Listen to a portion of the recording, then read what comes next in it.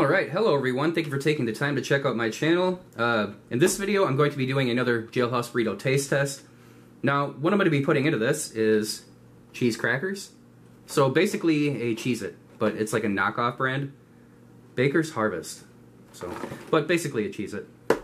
And then we're going to do nacho cheese flavored bugles. Had these the other day. They're really good in a uh, Jailhouse Burrito. Ramen. Slim Jim and then I try to put something a little bit different in every one of these uh, taste test videos to kind of make them stand out. And in this one, I'm going to be doing bacon bits. All right. Now I think everything's going to mix together really well. You're going to get some good cheese flavor from the uh, knockoff Cheez-Its there. Uh, good cheese flavor from these and a little bit of kick too. They have a little bit of kick to them. A little bit of spice. I like bacon bits. I think they're going to work out pretty well in this. And then you'll get some good flavor from the Slim Jim too. I think this is going to be pretty good. Now I say this in every one of my taste test videos, I'm not going to give you a step-by-step -step on how to make this thing. If you watch my channel much, you know how to make one of these already. I'm just going to go ahead and get it made up, give it a shot, and tell you what I think. Alright, let's do it. Alright guys, the burrito's been sitting in its tub for about 15 minutes.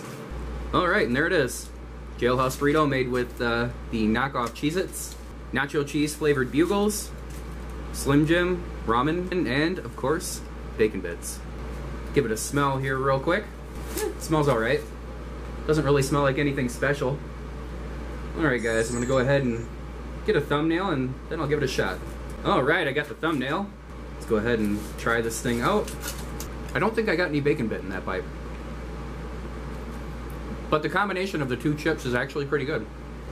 Now, like I said in my last video, you can put those nacho cheese bugles with just about anything, and it would be good.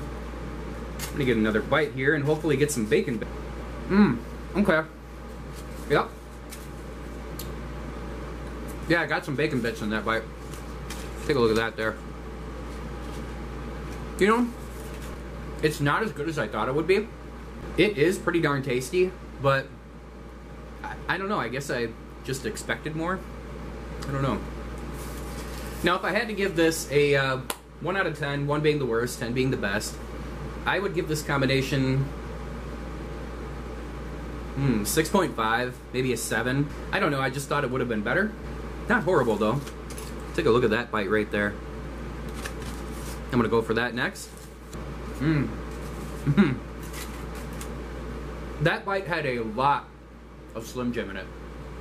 Mmm, that is good. But I am going to go ahead and end the video here and enjoy the rest of that off camera. Uh, thank you guys so much for watching. Please take a second, like the video, comment, subscribe, check out my other videos, and have a great day.